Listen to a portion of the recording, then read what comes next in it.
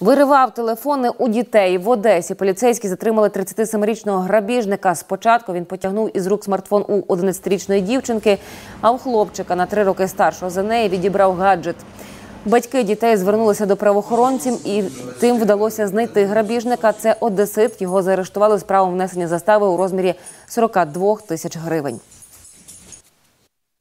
У випадку з дівчинкою зловмисник вирвав гаджет з рук потерпілої, а заволодівши телефоном хлопця, ще й вдарив останнього кулаком в скроню. За вказаним фактом розпочаті кримінальні провадження за частинами 1 та 2 статті 186 грабіж Кримінального кодексу України. Санкція статті передбачає покарання у вигляді позбавлення волі на строк від 4 до 6 років.